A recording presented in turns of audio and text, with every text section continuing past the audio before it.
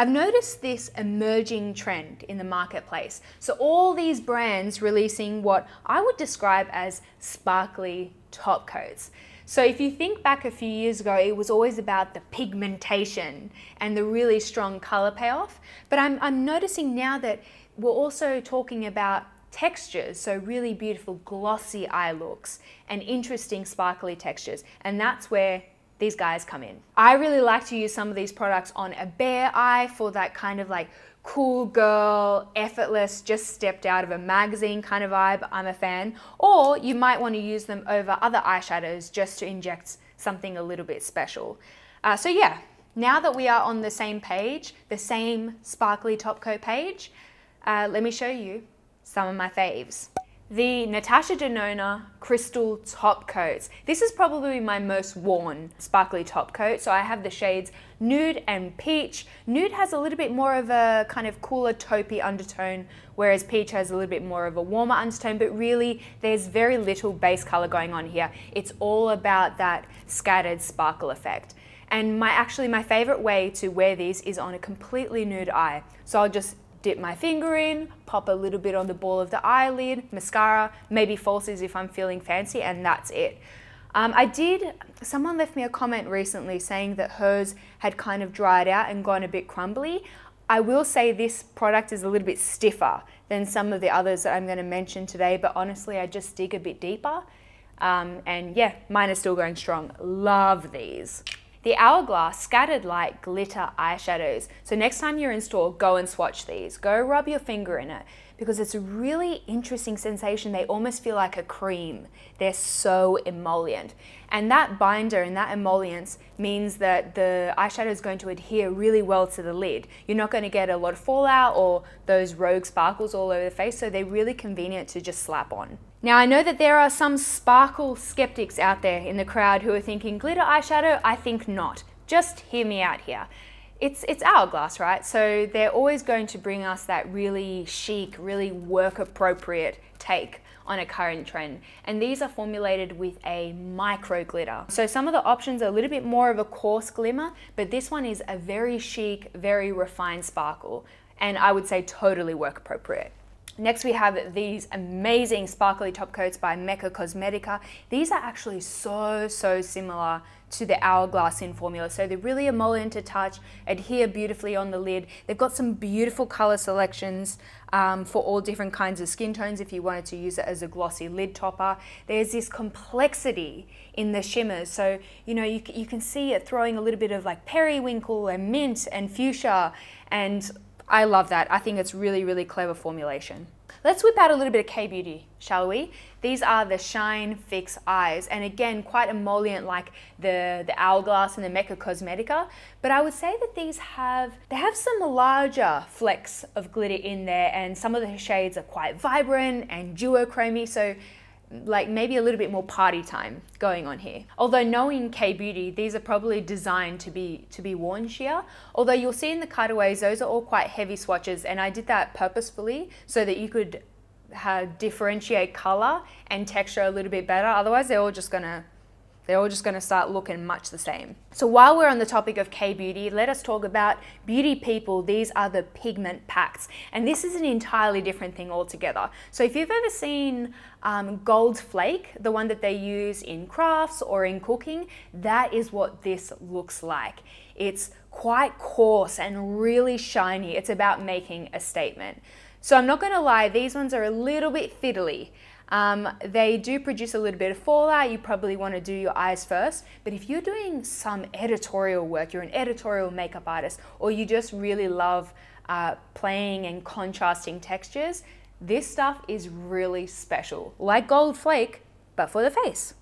The Chanel Illusion d'Ombre I've been speaking about this product for years. It's not a new product, but still oh so relevant. I've swatched Fantasme, that one's an icy white. I also really love New Moon. I will pop this over any boring brown eye and it just makes the entire makeup more interesting. Um, these have quite a moussey texture and again, they adhere really well to the eye. They don't produce any fallout. They're just really easy to use.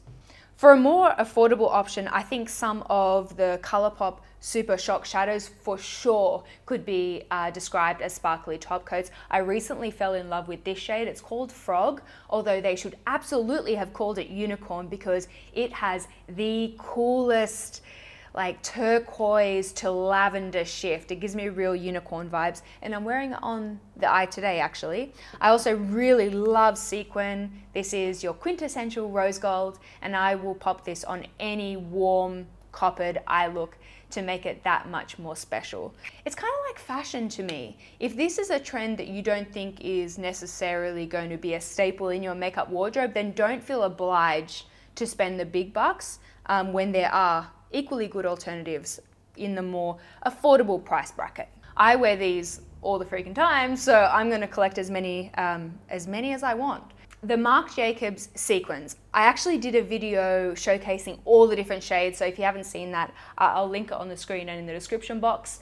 These are actually quite pigmented, more so than many of the options here, but I love these two shades as top coats, so I thought I'd mention them when you put your finger into the pan, it does feel a little bit more kind of crumbly and loose than say the hourglass, but it gives you a much more textured eye. It's got that real statement shine, um, which I absolutely adore.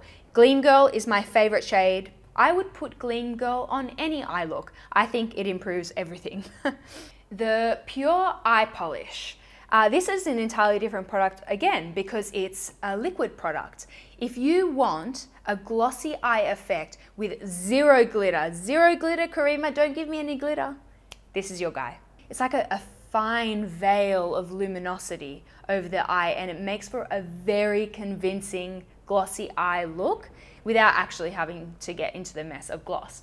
So I would apply this with um, a finger all over the mobile lid and then I'll take a clean finger to dab out the edges. What I love about this product is that it doesn't get kind of crusty or chunky like a lot of liquid eyeshadows can do.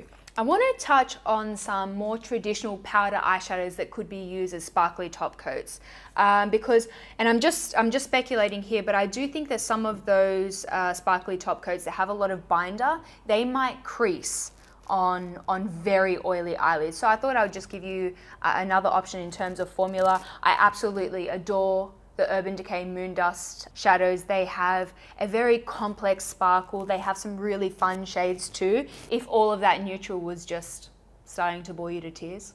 Uh, these won't adhere to the lid as well as some of the other options, so just make sure that you're applying them over some sort of eye primer or a cream eyeshadow or what have you to get maximum impact. So before you rush out and buy something new, I implore you to check out your own highlight collection because I have found some incredible sparkly top coat like products in my highlight collection. So I love the, the Stila Heaven's Hue in Kitten. That is the perfect glossy lid. I also adore Colourpop Flexitarian, which is another hyper glossy option, great for the cheekbones, equally great for the eyes. And then I have this one. This is new uh, to me. It's the Stila Heaven's dew, Heaven's dew, in Silver Lake. And it has this um, kind of like a scattered silver sparkle. I personally wouldn't wear this on the face. And I don't know, I'm just not really a fan of glitter on my cheekbone. I feel like it makes my skin look textured, but glitter on my eyelid, yes. The next two formulas are kind of like wild cards. They're totally different, um, and I wasn't initially going to talk about them, but I thought that maybe someone might ask in the comment section. So we have the Stila Magnificent Metals Glitter and Glow. This is a sparkly top coat by definition. It's quite a coarse glitter look. And this is not something that I would wear on a bare lid uh, because it, it, can look patchy in, in some angles. And I think you can see that in the cutaway swatches. This is something that I would use to accessorize a, an already big eye look. Like maybe apply it, you know, on a cut crease to add more texture and sparkle and shine. They are beautiful for that. And then in a similar vein, we have the Urban Decay Heavy Metal Glitter Liners. These come in a really, really awesome selection of fun shades. Uh, and again, they don't swatch so well because they're not really meant to be worn alone. These are for accessorizing other eye looks. Um, and I think really actually these two products have revolutionized glitter. Because, like, back in the old days, I don't know if you remember, but I certainly do. Back in the old days, you had to faff around with a glitter glue and then pat the glitter on top, and you'd still get a ton of fallout. And then you'd be finding glitter in every crevice of your body for months on end. No longer, man. You just swipe these on, you're good to go. I really hope that you guys enjoyed this video. If you have a sparkly top coat product that you like to use that I didn't mention in today's video, let us know in the comment section down below so that we can all have a read and collect all of the sparkly top coats. If you want to see more of me, then come say hello to me on Instagram at Karima McKimmie. Especially, especially if you like houseplants, I've developed this tiny little minor raging addiction to houseplants. It's totally random, and Adrian, as you can imagine, is absolutely thrilled. I hope you're having a wonderful day, and I will speak to you all very soon. Bye!